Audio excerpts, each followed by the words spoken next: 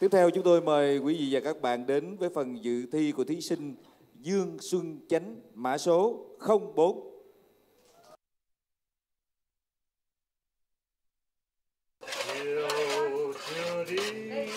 Anh Dương Xuân Chánh năm nay 57 tuổi, hiện đang sống tại quận 12 thành phố Hồ Chí Minh. Anh từng là bộ đội tại chiến trường biên giới Tây Nam những năm 1977. Anh chia sẻ trong cuộc sống, dù có rất nhiều những thăng trầm, nhưng hai vợ chồng anh đã có được một mái ấm riêng.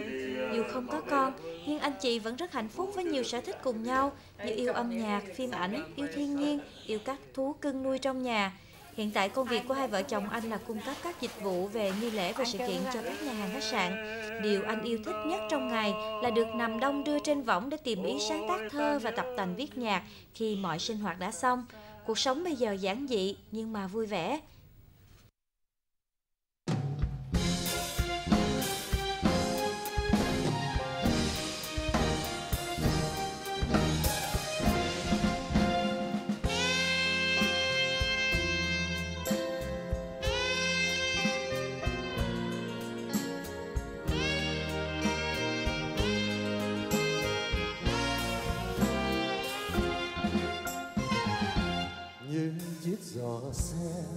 Chờ đầy hóa vườn em chờ mùa hè của tôi đi đâu?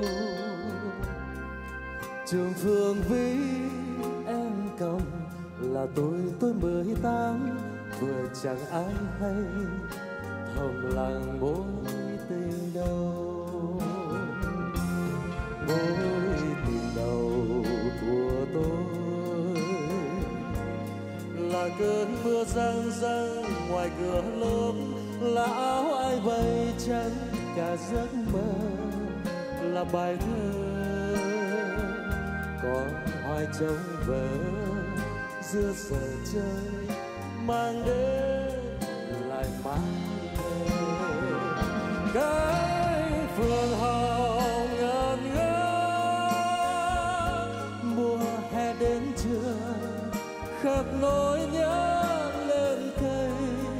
và mùa sau biết có còn gặp lại.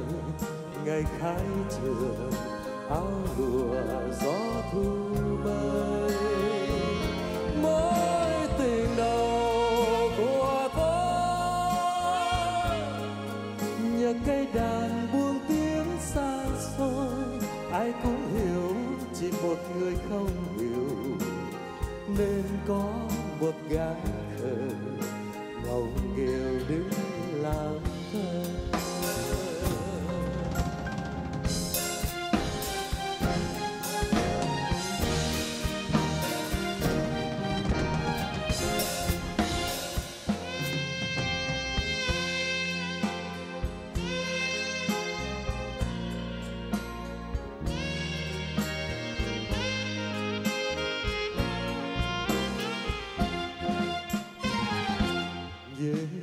Gió xe chờ đầy hoa vườn em chờ mùa hè của tôi đi đâu? Trường phường vi em cầu là tôi tôi mới bao. Thuở chẳng ai hay thầm lặng bối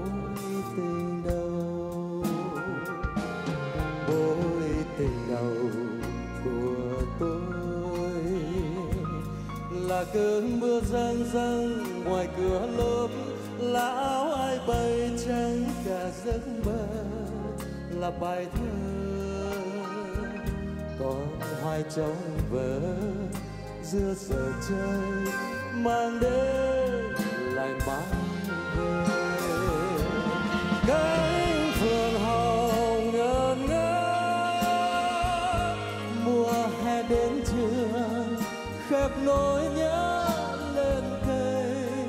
và mùa sau biết có còn gặp lại. Ngày khai trường áo lùa, gió thu bơi mối tình đầu của tôi nhờ cây đàn buông tiếng xa xôi. Ai cũng hiểu, chỉ một người không hiểu. Nên có một gã khờ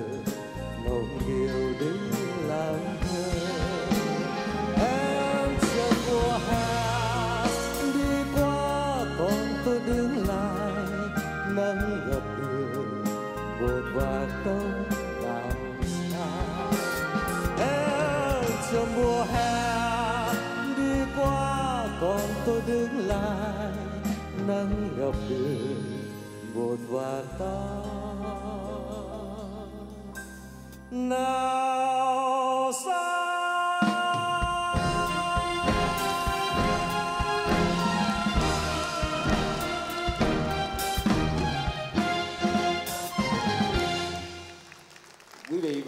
bạn vừa thưởng thức phần dự thi của thí sinh Dương Xuân Chánh mã số 04 với một sáng tác của nhạc sĩ Vũ Hoàng, thơ Đỗ Trung Quân, bài hát mang tên Phượng Hồng.